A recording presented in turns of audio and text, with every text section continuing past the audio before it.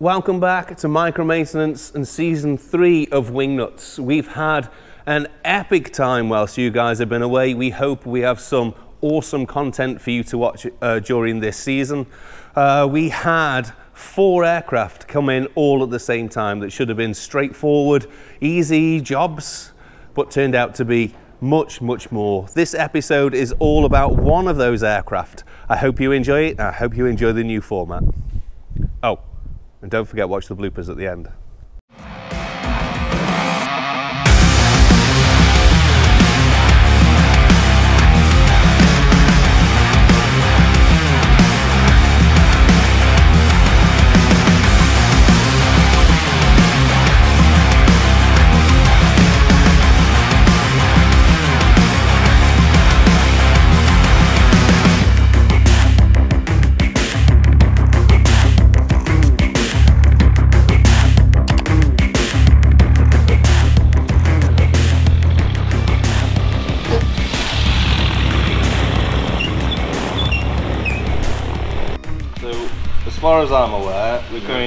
A wing strip inspection. We're going to clean it batten profile and change the trim bridle upper and lower. We're also going to take the skin off and send it off to top flight sails, of which you've arranged, but we're going to post. Engine wise is a standard 200 hour Rotax, uh, replacing fuel lines and filter. Uh, we're going to inspect uh, and look at replacing the cool lines. Yeah. And we're doing a gearbox inspection. Like I say, that that that's obviously just to remove it, what we discover in there. Yeah. Um, Yeah, I mean, if you can keep me up sort of. you- we, we don't just go, oh, that'll be five million pounds, please. Yeah, you know, yeah, great. We'll, we'll, this will take us to a point of quote. The other thing I, don't- know is going off for wing repairs, which are going to cost a lot. I don't know, you know, when you, when you come to do the permit and the Betts test, perhaps you want to Betts test Best a bit before, before, you it goes. it. yeah. Last yeah, time it yeah. passed fine. Well, as, uh, like I say, as, as part of the as part of the wing strip inspection, we always Betts test a wing anyway. Because what we don't want to do is do a wing strip inspection, give you a bill for a load of new parts, and then Betts test it, and it fails. So you know, it's pretty much one of the first things we do is Betts test a wing on a wing strip inspection. Okay, before sending it to flight.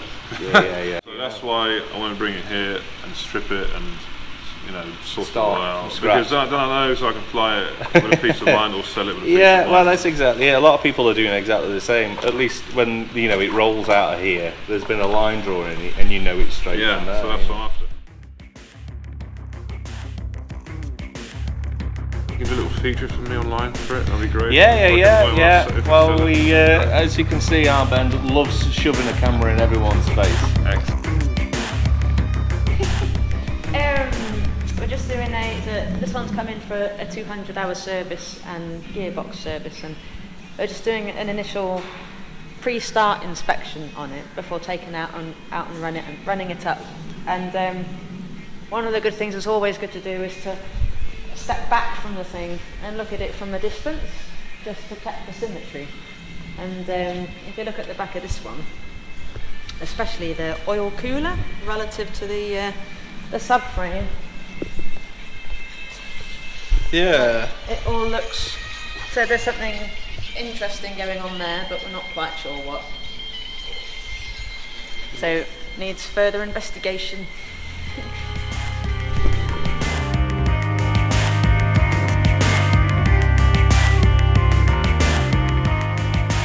The Lord mounts have been Yeah. mounted wrong. So instead, you see those are sat on top. These ones, when they've been replaced, sat up too high. are underneath. So the plates are twisting. There's a hell of a lot of uh, wobbling. There's a lot of, it needs some TLC, doesn't There's a lot of TLC, this one. This is going to be one where we just write down lots of things and then go, that's what That's what's really wrong with to it. be. This is what you think it needed and this is what really needs. Well, So we've done service persons, done the engine run, it wouldn't get through its permit now, would it? you know.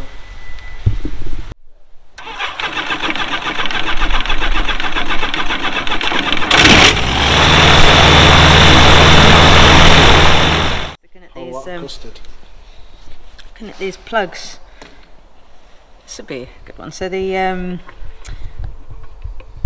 they're non-standard spark plugs, so they're Bosch plugs rather than the NGK DCP R7E E plugs that would normally be in this one. And um, the gaps, the new limit should be between like 0.6 and 0.7. The maximum wear limit would be 0.9, and these are well in excess of one millimeter. But also, if you look at this one, you see it's white all the way around the core, but then there's that black section. Looks like the spark has been it's been tracking down somewhere where it shouldn't do. And then uh, all the other plugs, all the cores are very white, apart from the plugs for cylinder two, which are completely coat black.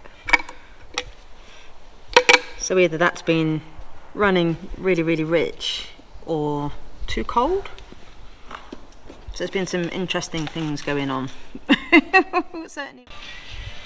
So what is it you're looking for, Alan? Uh, well, I'm looking for. This is an old cradle, old design cradle, which haven't, which you identify by not having some gussets on the front here, which were put on to stop the the cradle cracking. Um, so this is the old style one, but nevertheless, uh, with it being twisted, I'm looking for cracks on the support structure, which has allowed that to twist. Um, and at the moment, there's no cracks evident, but that doesn't say that they're not hiding in some way or another. It's difficult to see. There's a line around that well, but whether that's just a dirty line or whether it's a crack, we'll have to investigate.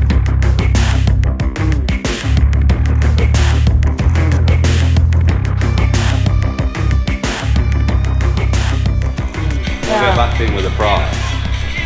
Because I said we'd let him know about the gearbox, whether it was, Yeah. whether it was straightforward. So when we ring him up, There's, not, there's, there's nothing. I don't want to surprise him. No, that's not fun. So what I was asking about. Because it's. Uh, did you actually give him a quote before? Yeah, yeah, it's on paperwork. Yeah. So because it would be a lot more than that. Well, I, just I, I, I, I gave him a price to remove it, uh, and I said that obviously the gearbox part you're looking at a good for, but um, because whilst it's off, you might as well do X, Y, and Z.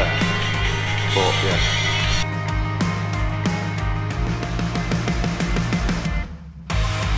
We're replacing all the fuel hoses, uh, but we're doing one at a time and rerouting them exactly the same route as they came out, so it just makes it a lot easier. And uh, we're also going to do the coolant hoses later.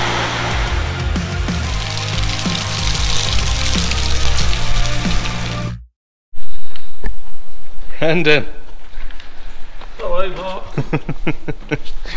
what do you want? you got I got a really do big you want? jigsaw puzzle. I've got a big jigsaw puzzle, uh, collectively known as a wing. So uh, yeah, lots of bits and bobs, uh, lots of parts, uh, old parts, new parts. Yeah, fantastic. So uh, yeah, just in the process of changing all the nuts and bolts, washers, and uh, then we'll, uh, as once they're all in uh, in the right area, we'll uh, start putting the whole frame together.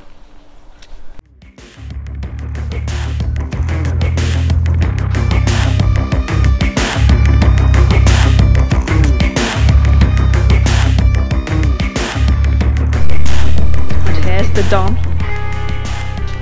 Looking very busy. and Bobby's come to assist. Hello, Bobby. Give kisses. What are you up to? just doing an oil change on this one, and I'm just going to lock wire the uh, sump plug. So it said uh, I've had to take the tank off to stand it upright to get all the fluid out of it.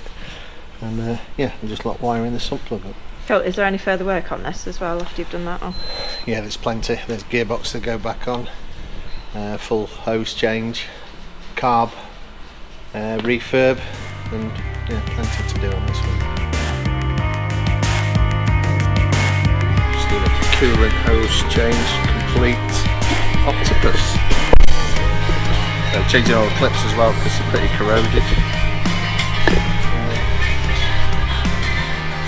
They on actually? The old, uh, the old clips and hoses? No idea, are they? No. Not easy to get off either. Just completed a, full coolant um, hose and clip replacement on this. So just put the radiator back on.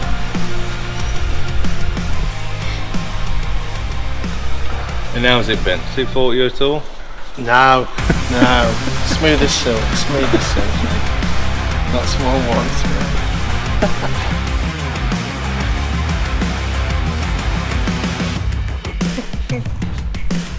Um, so, getting ready to put the gearbox back on, but the drive gear has to go on first. So um, that's all just been cleaned up, and uh,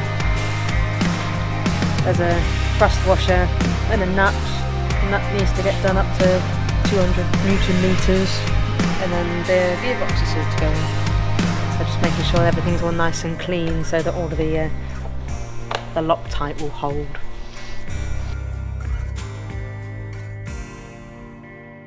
It's back on. Got one gearbox back on. Yay, Smithy! wow. it looks like I'm taking it off and put it back on anyway. Got lots of red splodges on. Awesome. What's that to do? Um, it's having a new, it's having a new fuel pump.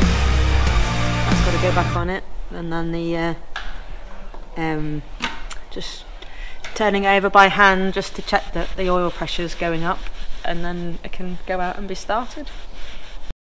Okay, so a uh, bit of a quick update on the Blue Quantum. It's progressed somewhat this week. So the engine team, Shelley, Smithy, and the Don have been working on the engine. We've got lots that's gone on with here. Replaced all the uh, the rubber parts, uh, which has gone on. The engine's had a full detail. New fuel pump. The gearbox went back on yesterday. Uh, replaced all the coolant pipes. Um, going to the radiator. Pretty much anything that you can do to this engine has been done. There was a few other faults that got resolved as well with the engine mounts. Exhaust been redone. There's a few little things that we're not happy with. Prop bolts are going to get switched out.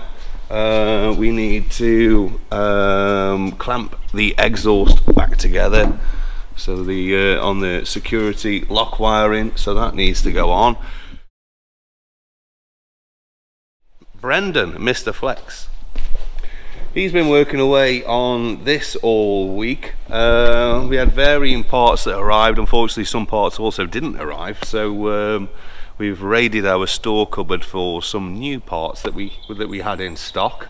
So we're able to get this wing back uh, together in some format. We still have the A-frame uh, to go back in, which means we can then do the trimmer. We need to do the fin um, looks to be the flying wires and the uh, landing wires. So I'm going to drop on this for a couple of hours and see if we can get this wig progressed. This sail uh, has just come back from uh, top flight sails and wow what a job they've done. It just looks awesome. Some amazing repairs. When this wing is fully rigged I'll go through some of those repairs and some of the work that they've done because really what a top job. Top flight sails, everybody. Anyway, let's see what the day brings.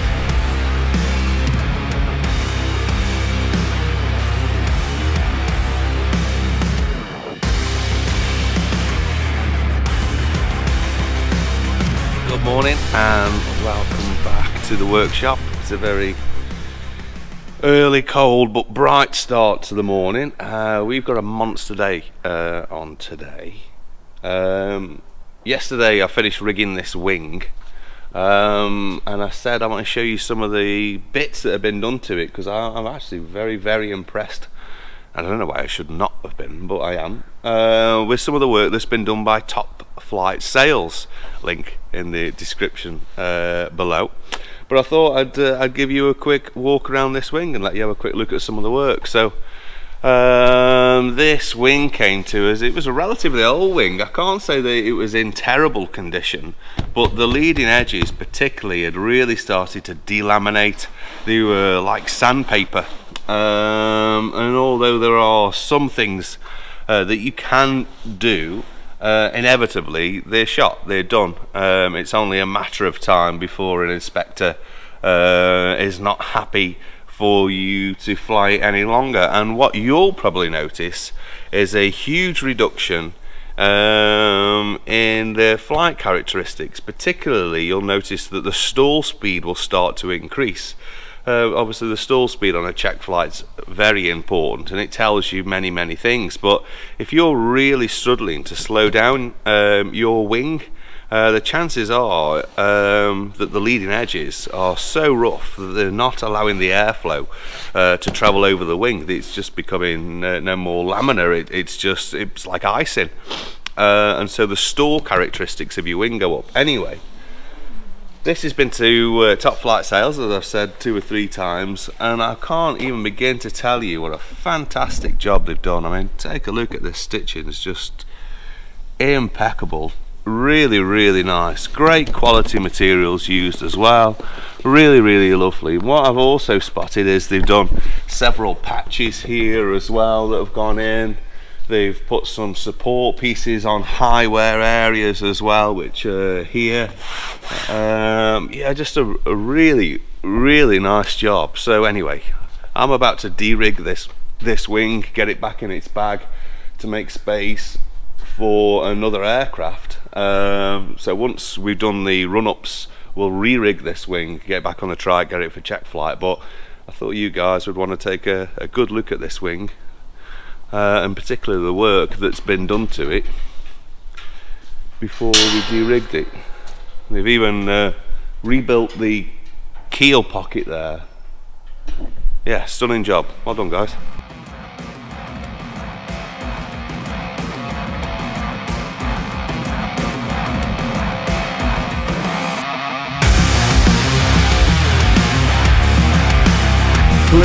Clear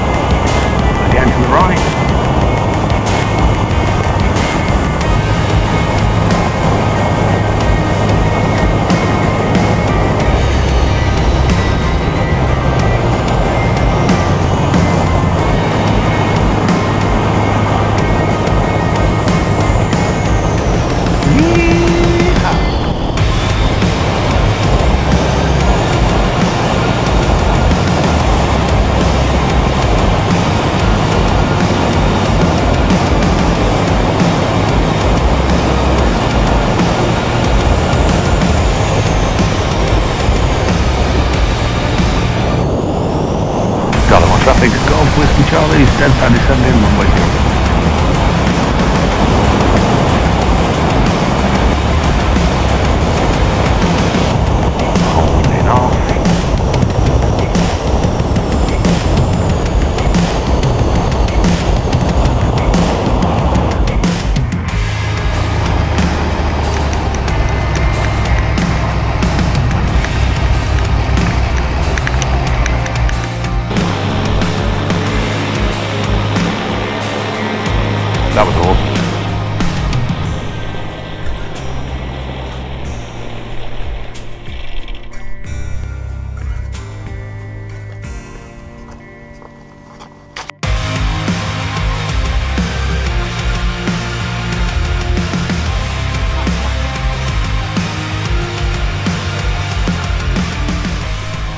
you waiting for to finish?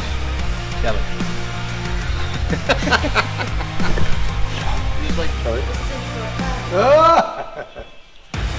Uh, do you want a micro maintenance sticker on there? Yeah. Put some money on your plane apparently. I'm well up for that. What are you up to? Um, putting the gearbox back on. You seem really, really happy about that. Yeah, yeah, yeah, yeah. So tell us what you're up to then. What you're you preparing for? Uh, putting the gearbox back on. Brilliant. Thanks, everybody. See you later.